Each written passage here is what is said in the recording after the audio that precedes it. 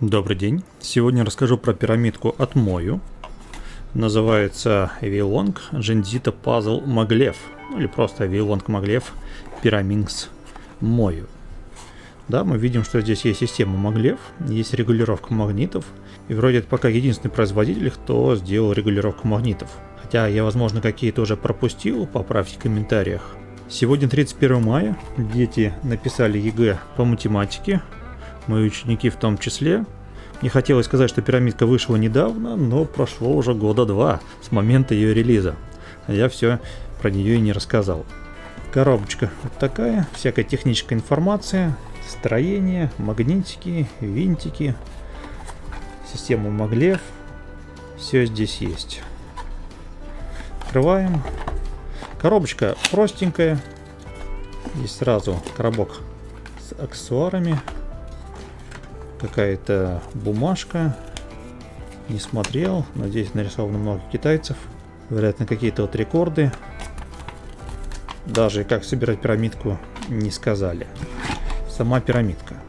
Внутри еще был вот такой вот пластиковый элемент. Я что-то не приспособил его обратно, поэтому положил отдельно. И вот пирамидка. Логотип мою, он наклеен. Уже после использования видны края пленочки. Внутри пластик фиолетовый. И все это эстетически очень даже красиво. На всякий случай заглянем в коробочку с аксессуарами. Здесь у нас всякие приборы для настройки. Настраивать здесь есть что. И запасная крестовина. Надо же еще куча каких-то... Ну, это стандартная отвертка. А это, видимо, ручка для вот этих насадок. Да, их туда вставляешь и крутишь. Также еще какие-то бумажки. Наверное, все-таки наша инструкция ждет. Какие-то бумажки. Ага. Как собирать. По-всякому. Это версия Maglev, была еще версия Magnetic, и еще была серия RS, Pyraminx, чуть попроще, с какими-то упрощениями. Ни Magnetic, ни RS я не покупал. Это вроде бы топовая пирамидка, стоит не особо дорого. Кажется, чуть больше тысячи сейчас она стоит, гораздо дешевле, чем пирамидка от GAN, и она ничуть не хуже, по крайней мере для меня. Напомню, что у Мою была другая топовая пирамидка, лет 8 назад ее выпустили, Просто мой магнетик. Наверное, одна из первых магнитных головоломок. Да, раньше пирамидки были на таких шариках-подшипниках. Фиксаторах. Мне эта пирамидка не нравилась никогда. Когда появилась X-Men Bell, я сразу на нее перешел. Но сейчас, наверное, конкуренты есть и другие. Э, есть вот Ган, который сейчас, наверное, самый дорогой. И с Ганом я буду сравнивать. Потому что с древней пирамидкой сравнивать смысла нет, она, естественно, хуже. Визуально.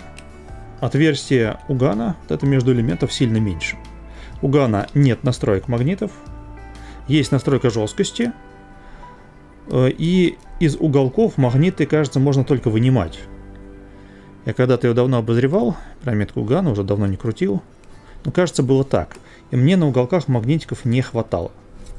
Здесь же самые потрясающие уголки на всех пирамидках, какие я когда-либо видел. То есть они вот идеальные. Для меня очень приятно тактильно, очень хороши. Вращение самой пирамидки, оно поначалу очень непривычное, очень быстрое, резкое. Может оно изначально напугать, но мне очень понравилось с первых движений. Я сделал как-то тысячу сборок, потом отложил, думаю, надо крутить тысячи три хотя бы, но сейчас все, работа, работа, много дел, время от времени ее крутил, зная, что пора бы уже заканчивать с ней. Делал еще сборок 500 и понял, что, наверное, больше мне про нее узнать нечего. Так выглядит здесь регулировка магнитов. Одним из этих приборов можно крутить шлицевой насадкой. И есть 5 положений на магнитах и 5 положений на гайке. Разбирать не буду, на картинке было видно. То есть можно жесткость менять, можно магнитики менять. В уголках не знаю, можно ли менять магнитики, но они такие хорошие, что, наверное, не стоит. В любом случае, если вам из коробки вращения не понравится, ну, оно регулируется. До этого Ган я считал лучшей пирамидкой, но как только появился Вилонг, я мнение поменял. Ган остается пирамидкой хорошей, но Вилонг мне нравится больше. Я не являюсь профессиональным сборщиком пирамидки. Как-то доходила сотка секунд до 6, собираю ЛБЛ, немножко просчитываю, но, естественно, пирамидку я не особо тренирую. Но как дисциплина мне нравится. Просто иногда здесь пособирать интересно, и время от времени просыпается такое желание открутить тыщенку на какой-нибудь головоломке. Все-таки спидкубинг, он есть во мне. Сейчас летом будет немножко попроще, наверное, что-то покручу. Потрясающая пирамидка. Те, кто собирает секунды за две, наверное, могут меня поправить, сказать, что что-то с ней не так, какие-то есть в ней недостатки, но меня она за полторы тысячи сборок, наверное, даже больше я сделал, а, ни разу не расстроила, все с ней хорошо. Единственное, что я заметил, если добавлять сюда жидкую смазку, то реакции практически никакой не заметно. От жидкой смазки, вероятно, только густая здесь поможет. Ну и может у меня смазка такая же, не совсем свежая. Недостаток. По сравнению с Ганом, главное ее, это шум. То есть вот, делаем аккуратное движение, щелкает, делаем аккуратное движение, все равно щелкает. Да? Ган потише. Погромче. Ну, это особенность такая. Но она невероятно приятна в руках. И если вы из тех, кто просто хочет одну пирамидку, просто собирать ее в удовольствие, то это не самый дорогой вариант из всех пирамидок, но визуально очень красивый.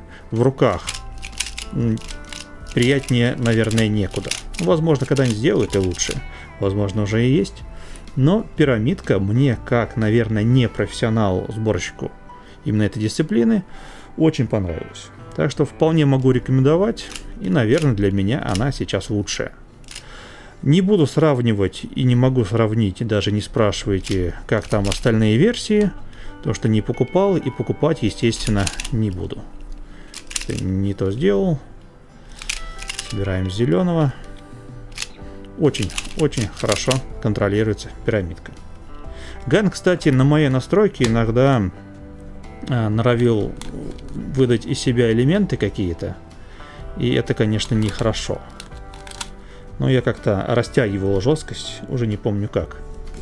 Здесь же меня полностью устроило кручение из коробки. Ну вот она притерлась еще за тысячонку сборок. И стало все хорошо, и вот сейчас уже ничего не меняется.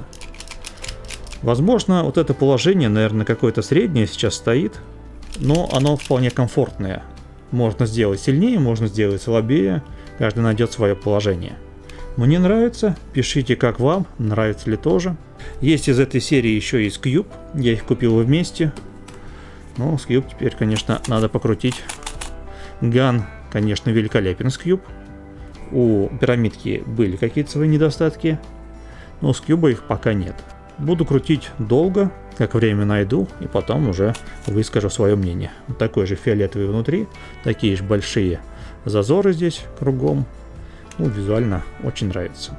Хотите классную пирамидку? Вот она, мою Виелонг Маглев. А на этом все. Всем спасибо, всем пока.